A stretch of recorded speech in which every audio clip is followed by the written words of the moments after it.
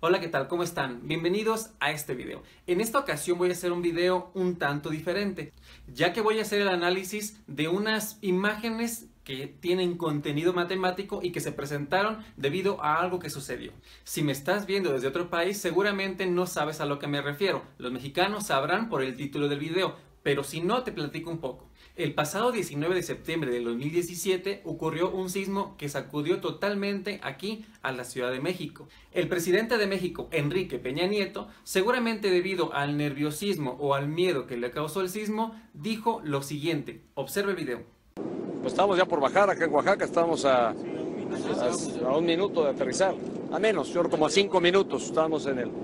En la descripción del video te dejo el link del canal de YouTube que subió este video para que lo puedas observar también ahí. Debido a esto que sucedió, inmediatamente en las redes sociales empezaron a ver muchos memes. Muchos, ¿eh? Dentro de todo lo que se subía a internet hubo una imagen que de verdad llamó mucho mi atención. Porque ahí se demuestra, según esto, que 1 efectivamente es mayor que 5. En esa demostración evidentemente hay un error. Así que yo me pregunté si todas las personas realmente podrían ubicarlo inmediatamente, o al menos algunos estudiantes de secundaria, preparatoria o universidad. Compartí la imagen en redes sociales, se la envié a algunos alumnos, a algunos compañeros y observaba que no todos sabían cuál era el error. Así es que por esta razón decidí hacer este video. Quiero mencionar que este video no pretende para nada hacer burla de lo que sucedió. Al contrario, creo que es una oportunidad para que las personas se acerquen a la matemática. Es decir, que tomemos los sucesos que ocurren quizá como algo que nos cause gracia, pero ¿por qué no? También como la oportunidad para poder aprender algo nuevo. Así que en este video voy a ir haciendo la demostración que aparentemente usaron para decir que efectivamente el presidente Enrique Peña Nieto tenía razón y posteriormente voy a decirles en dónde está el error. Así que yo los invito a que observen primero toda la demostración y mientras yo lo voy desarrollando traten de ubicar en qué parte estoy cometiendo un error matemático. Si no lo encuentran, entonces espérense hasta el final para que yo les pueda explicar en dónde es que se encuentra el error. Bueno, así que de esto estaré hablando en este video. Bien, pues sin más preámbulo, comenzamos.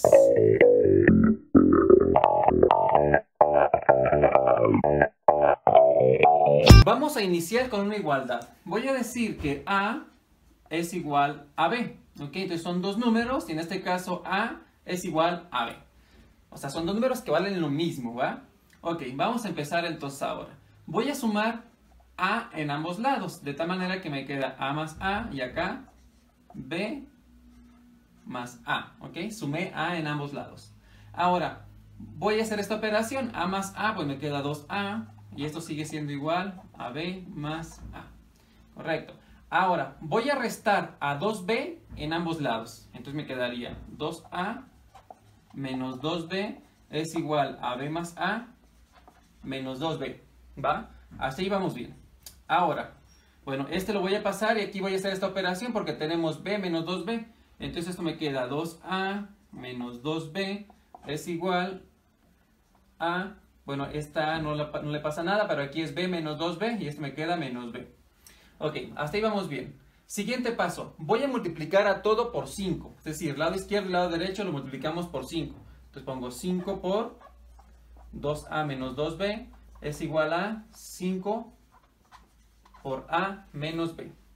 Ok, siguiente paso voy a dividir todo entre un número, que en este caso es a menos b. Entonces me va a quedar 5 por 2a menos 2b sobre a menos b es igual a 5 por a menos b sobre a menos b. ¿Ok? Hasta ahí vamos. He reescrito lo que llevábamos acá para poder continuar de este lado. Ahora, en este paso voy a desarrollar este paréntesis. Me va a quedar entonces 10 sería 5 por 2a daría 10a, menos 5 por 2b daría 10b, sobre a menos b. Bueno, y de este lado voy a dejarlo así, simplemente como 5 por a menos b entre a menos b. Ok, ahora voy a restar 5 unidades en ambos lados, entonces simplemente lo resto en ambos lados. Fíjense bien, pero como la demostración queremos que haya un lado más grande que otro, entonces pues voy a poner aquí simplemente un símbolo, un símbolo menor que, ¿ok? Pero si aquí estoy diciendo que esto es menor que esto, es porque acá tengo que agregarle algo, ¿no? Entonces basta con que yo le agregue un 1.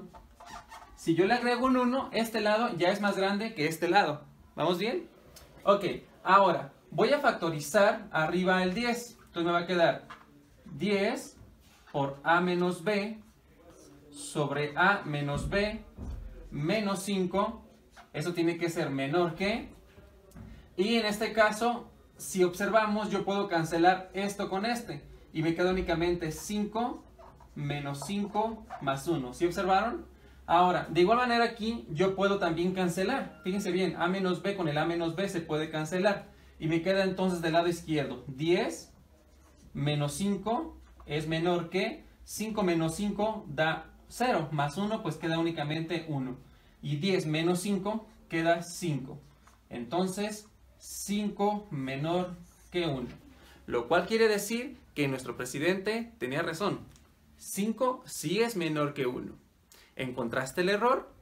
Si sí lo encontraste, antes de que termines de ver el video, déjamelo en los comentarios, por favor. Y si no, quédate en la siguiente parte del video donde te voy a explicar en dónde está exactamente el error y por qué es que es incorrecto hacerlo. Para que puedan entender de manera correcta en dónde está el error en lo que acabo de hacer, es necesario recurrir a este libro. Es un libro de álgebra moderna eh, que está escrito por Dolciani, Berman y Friedrich. Ok, en la página 77 dice lo siguiente. Una consecuencia de la propiedad multiplicativa del cero es que no se debe dividir entre cero. Explico rapidísimo por qué y después encuentro el error acá para que lo observen. ¿Qué pasa cuando yo multiplico, por ejemplo, 5 por 0? Pues esto me da 0. ¿Vamos bien? ¿Qué pasa si yo multiplico, no sé, 20, por ejemplo, por 0? Pues me sigue dando 0. ¿Estamos de acuerdo? Entonces, quiere decir que si yo multiplico a un número A por 0, pues siempre me va a dar 0. Ok, entonces vamos a poner esto aquí. Ahora, imagínense que tenemos lo siguiente. A entre 0 igual a B. ¿Ok? Si yo lo despejara, me quedaría A es igual a B por 0. Entonces B por 0 pues da 0, entonces me quedaría que A es igual a 0. Es decir, esto se va a cumplir específicamente cuando A sea 0. Y eso no tiene nada que ver con el valor de B, porque B podría valer 1, podría valer 2, podría valer 20, podría valer 1000, incluso un número negativo, pero siempre va a ser que esto que está aquí de 0. Es decir, por ejemplo, si fuera 5, 5 por 0 daría 0 de todos modos, entonces A siempre valdría 0. Entonces, no tiene que ver nada el valor que tome B. ¿Por qué? Porque A siempre va a dar 0. Pero esto no se va a cumplir para los valores donde A no sea 0. ¿sí? Es decir, no va a haber un número B de tal manera que si yo lo sustituyo, haga que A sea diferente de 0. Por lo tanto, entonces, es imposible que yo pueda dividir entre 0. ¿Por qué? Porque no va a estar determinado ese valor. Bien, ahora, si nos vamos al desarrollo que hice anteriormente, estamos notando esto. Fíjense bien, en esta parte de todo el desarrollo es donde está el error. ¿Por qué razón? Porque habíamos partido nosotros de que A era igual a B. Si recordamos, de eso partimos. Por lo tanto, si A es igual a B entonces, este yo lo paso restando para acá, me quedaría A menos B igual a 0. Lo cual quiere decir que esto que está aquí es 0 y que esto que está aquí también es 0. Entonces, el error fue aquí que nosotros dividimos entre 0. Aquí dividimos entre 0 y aquí dividimos entre 0. Vean, aquí también incluso se canceló este 0 entre 0. Y eso no se puede hacer, ¿va? No se puede hacer, ¿por qué? Porque hay una indeterminación ahí. Y realmente es ahí donde se encuentra el error y por eso es de que se había deducido que efectivamente nuestro presidente tenía razón. Les recuerdo que este video no es con ninguna intención de, de, burla, sino más bien para que puedan aprender algo y sí, tomar hechos que ocurren de la mejor manera. Bueno, pues hasta aquí el video de hoy, espero que les haya servido. Si les gustó, denle like a la página, activen la campanita y suscríbanse. Saludos y hasta la próxima.